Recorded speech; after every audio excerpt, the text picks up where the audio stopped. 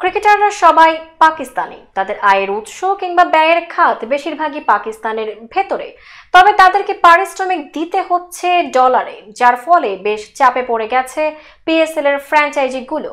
ডলারের বিপরীতে পাকিস্তানি রুপির মান কমে যাওয়ার ফলেই বিপাকে পড়ে গেছে ফ্র্যাঞ্চাইজিগুলো। ড্রাফটের সময় খরচের পরিমাণ সম্পর্কে যা ধারণা করা হয়েছিল, খরচের পরিমাণ এখন তার চেয়ে অনেক বেশি হয়ে গেছে। ফলে বাড়তি খরচের বোঝা বহন করতে হচ্ছে পিএসএল এর ফ্র্যাঞ্চাইজিগুলোকে ঘটনার বিস্তারিত দেখে নিন উপায় প্রেজেন্টস ভিডিও ক্রিক টাইম বুলেটিনের এই প্রতিবেদনে।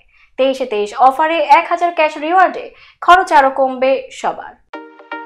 হুট করে বিপাকে পড়ে গেছে পাকিস্তান সুপার লিগের ফ্র্যাঞ্চাইজিগুলো ডলারের বিপরীতে পাকিস্তানি রুপির মান কমে যাওয়ার কারণে তাদের খরচের পরিমাণ অনেক বেড়ে গেছে, যার ফলে ক্রিকেটারদের পারিশ্রমিক দিতে হিমশিম খাচ্ছে তারা।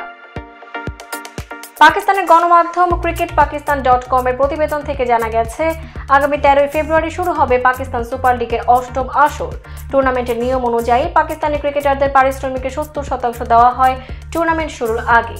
বাকি তিরিশ শতাংশ টুর্নামেন্ট শেষে। পাকিস্তান ক্রিকেট বোর্ডের নির্দেশ অনুযায়ী দেশি বিদেশি সকল ক্রিকেটারকে পারিশ্রমিক দিতে হবে মার্কিন ডলারে। ডলারে লেনদেনের এই জায়গাটাতেই লেগে যাচ্ছে বিপত্তি।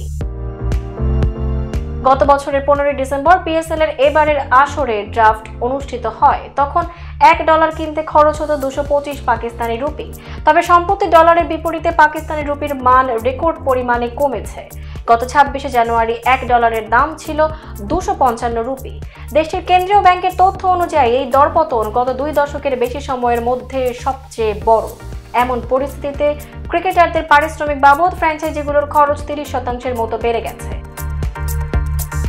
একটি ফ্র্যাঞ্চাইজির কর্মকর্তা ক্রিকেট পাকিস্তানকে জানান, পাকিস্তানের ক্রিকেটারদের ডলারে পেমেন্ট করার বাধ্যবাধকতা থাকায় খরচের অঙ্ক বেড়েছে। দেশি ক্রিকেটারদের বিদেশি মুদ্রায় পারিশ্রমিক দেওয়ার যৌক্তিকতা নেই বলেও মন্তব্য করেন তিনি। সমস্যাটি নিয়ে ফ্র্যাঞ্চাইজিগুলো পিসিবি চেয়ারম্যান নাজাম শেঠির সঙ্গে দেখা করলেও কোনো লাভ হয়নি।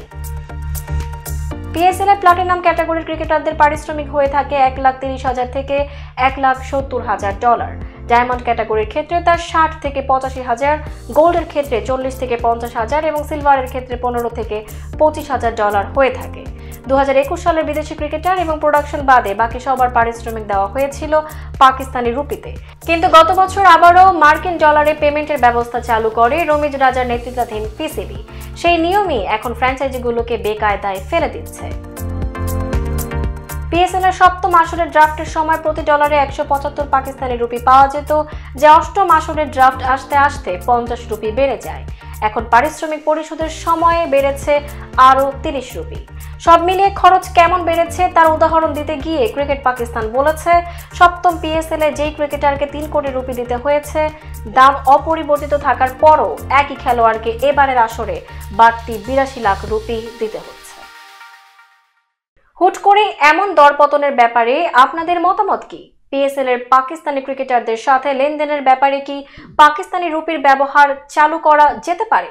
জানিয়ে দিন কমেন্টে। সাবস্ক্রাইব করুন আমাদের YouTube channel video Cric Time bulletin এবং ফেসবুক পেজে লাইক দিয়ে সাথেই থাকুন।